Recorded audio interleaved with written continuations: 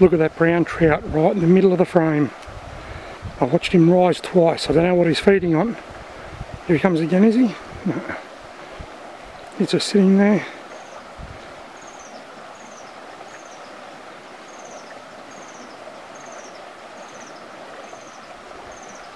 I don't know how I'll go getting any footage of me fishing for him. Haven't got the right, haven't got a tripod for starters. I'm not set up for videoing. He's taking off to the right. What has he spotted? Ah, I can't see him now. Right, he's back in the middle. That's a brown trout of probably, it's not big, 25, 26 centimetres, maybe 28, thereabouts. He's actively feeding.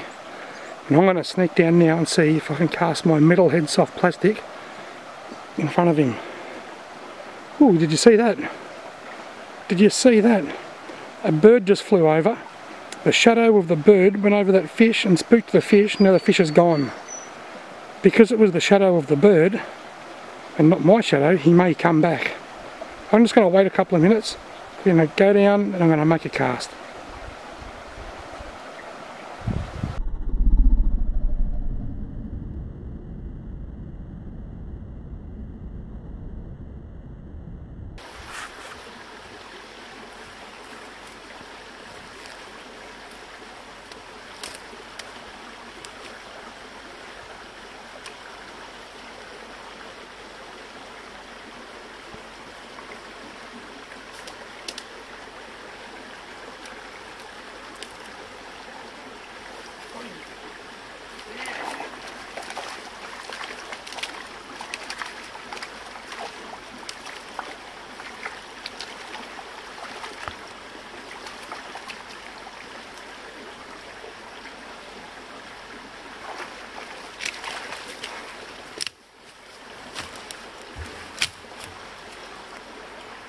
Well, there he is.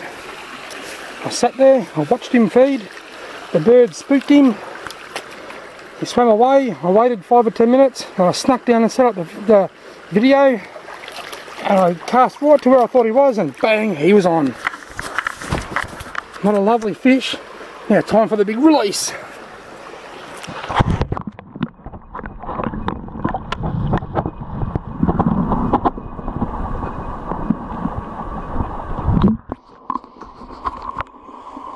rock on.